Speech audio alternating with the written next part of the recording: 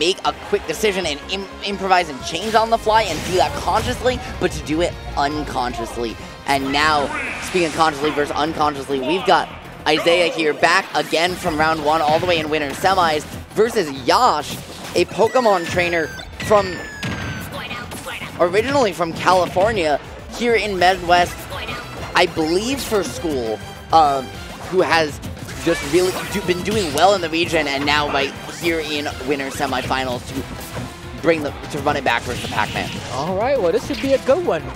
Young Yash going to be one of a few Pokemon trainers we've seen on the screen today. Going up against Izaiah, who, I mean, the last time we got to have the pleasure of watching them play against, I believe it was Mr. Dojo-san.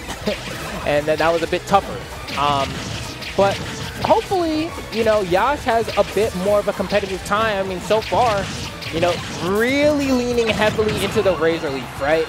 And I get it. you don't want to deal with that Pac-Man at a distance sometimes. And, and, but not only does Razor Leaf lock them out from a distance, right? But we saw, right? It goes. It's one of those projectiles that can pass, kind of phase its way through Hydrant, so it keeps Pac-Man from sending that Hydrant, that projectile at you, and it locks out his defensive play as well, not just creates the space.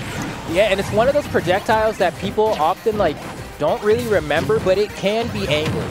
And so, like, if you're just kind of being like, oh, they're razor leafing and assuming it's going to be in the same place every time they do it, you can find yourself getting clipped by it because it does have an arc that you can control very slightly, but it is there. Yes, sir. That difference between smash input, tilt input, right? Kind of stealth show, adding stealth depth to so yes. many range projectile moves and range buttons in this game.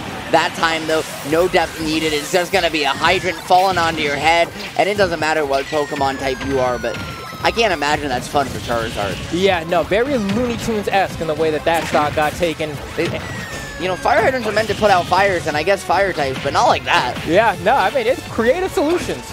You know, creative solutions. I'm all here for it. Granted, we do have the Ivysaur back here and some Galaxian combos as well, but kind of falls out of that down air a little bit, gives an opportunity for Yash to kind of get a little bit of aggression started, but you're going back to the Razor Leafs. All right.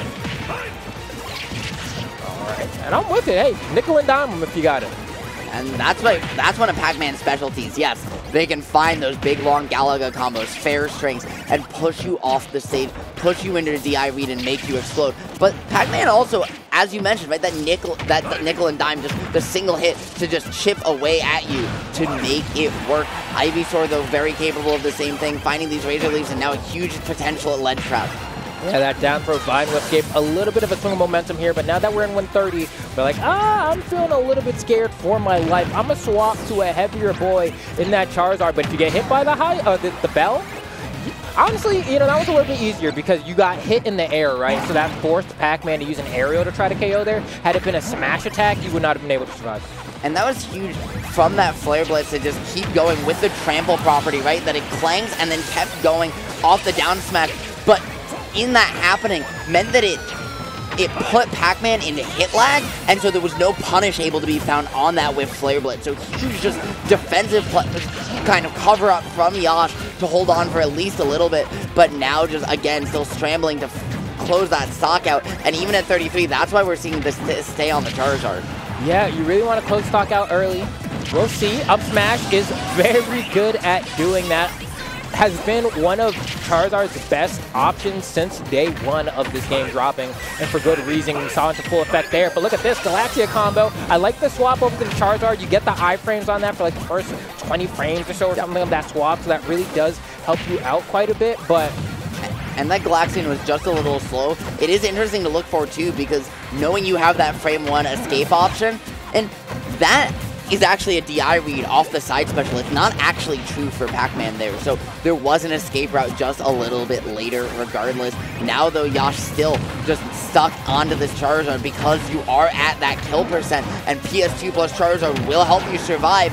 But with the when you're playing the straight hit game against Pac-Man as Charizard, Ooh. it's not in your favor. Yeah, and you can see right here, like wants to keep Pac-Man in the corner, tries to go for a back air, it's not going to connect, and then gets punished by a down air as well trying to find something here. You need, like, at least one more hit here as Charizard. Oh, got keyed. Yeah, my yeah. friend, the key to victory, the key to game one coming in and locking it up. Izaiah did a great job controlling the pace of that game and setting up for that interaction as well because as we saw there just before that stock got taken, right? I get that Charizard got forced to platform because of that laning pressure we were talking Yes. about before. And so even though it doesn't lock down all your options, it forces you to platform and your options are then either drop down and get hit, go back to ledge, which is good for Pac-Man, or jump away. And the jump away is what then gets you get as Pac-Man, you get to set up and lock in another situation where then key is the answer to that laning. It was a beautiful set of conditioning, and now something that Yash is gonna have to find an answer to. Again, taking Pac-Man back to Hollow Bastion. Okay, let's see if this counter pick is going to be the one. We've seen this happen once already, and it wasn't great. It actually kind of started out just like this, where it's like, all right, Pac-Man gains control of the stage and then forces the opponent into the corner for the entirety of the time. How do you get out of here if you're Yash? You try to roll in, you get caught by a grab, and then once again, we're going to set up. Force to the corner, reset the ledge trap.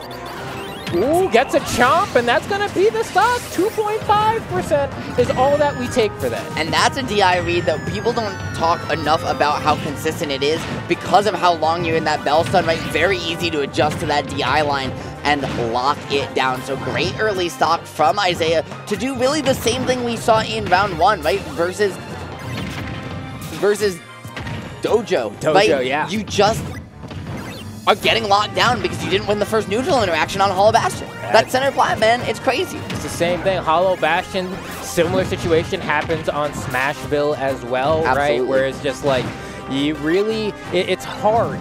If they have control of that center plat, that's gonna be all she wrote. He got, he got it with it twice?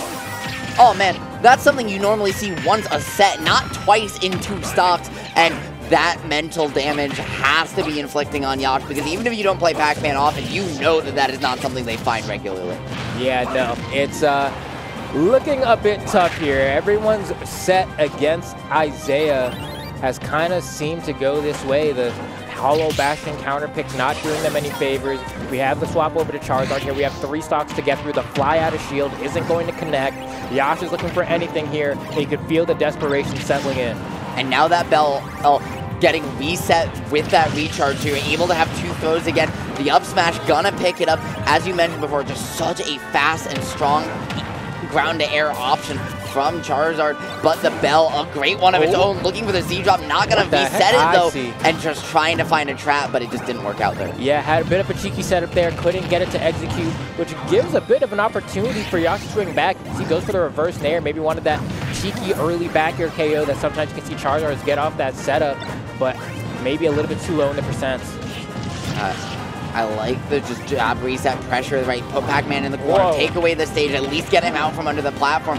But was it a high enough upside play has yet to be seen because still Yash, right, not able to keep those feet on the ground at all, not able to keep the flexibility. And there you're What just a too high a percent to look for a flare blitz. That being said, back throw back air. Yeah, got the tipper on that tail as well, racking it up. But one hit from this bell and the set is over. And I think Yash knows that. Has to be extremely careful, biding some time, being patient about getting out the corner because you don't want to give it up for free. Being said, my friend, right? Charizard very much one of the king, one of the kings of cheese. An, an up falling Hold up air on. string into an up smash. We might be looking for a neutral here. You missed that tech. Ah. It's, it's a flare blitz to death time. I'm and Yash very aware that you have so many ways to end this game as Charizard. You just Oh. have to find it. Back throw, just barely gonna not do it yet. But the options Oh. are running out, and there it is, Flambo. All right, time is running hot here as Yash is trying to close one out. 206% on this Charizard. Narrowly avoids the back air. Is trying to flare blitz it again. Bets it all, but it was way too obvious, and we're not going to allow that one to happen. Izaiah is able to close that set out with a back air as I respect it. I respect it. I too. understand why Yash would go for it. I think personally it was a little bit too obvious. Even that flare blitz they went for before was kind of like it felt like you got one. You know what I mean? It felt like you got one, and if you were gonna go for it again, you needed a setup. But going for it raw like that is like the kind of bad idea that makes it good in situations like that often. Yeah, and we, we see so many players who lean on the Charizard to the level that we saw Yash do, right, in this set. Kind of fall into that trap with Flare Blitz because who doesn't want to hit Flare Yes. Blitz, right? Yes. And that's one of the issues kind of with some of that those hype moves in Ultimate is what do you do with the discipline? And even then, like based on Pac-Man's positioning, I understand the idea, right? Because Flare Blitz there, they're under platform, so you're like, okay, they might ju- try and jump to platform and call out something high, and if they do that, I go underneath them.